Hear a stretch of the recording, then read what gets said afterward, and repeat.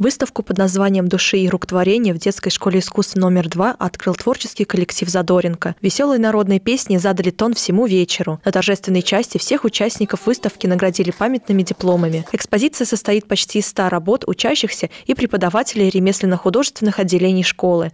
Творчество ребят представлено в различных техниках. Детская школа искусств номер два э, славится своим разнообразием отделений. То есть мы занимаемся и народной вышивкой, и дизайном костюма э, одежды и ткани, и резьбой по дереву, и маркетри. То есть, то есть вот эти все работы, вышивка, лоскутная техника, то есть все это представлено на этой выставке. С удовольствием, то есть можно смотреть и видеть весь путь э, ребят от первого до пятого класса. Особое место на выставке заняли работы выпускников отделения «Художественная керамика». Свою работу Алина Морозова решила посвятить традициям Испании. Ее декоративное панно состоит из двух взаимосвязанных частей. На одной картине девушка представила кориду, а на другой – танец фламенко. Изначально мы заготавливали на бумаге все это, то есть мы рисовали наброски делали, а дальше уже начинали делать саму работу из глины.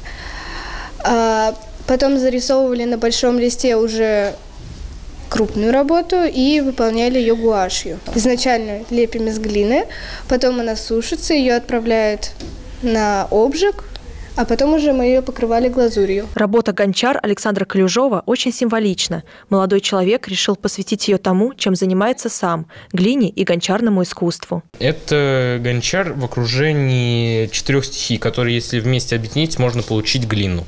Смысл этой работы показать, что все взаимосвязано. Выставка детской школы искусств номер два «Души и рук творения» можно посетить до декабря. Подробная информация по телефону 951 84. Мероприятие без возрастных ограничений.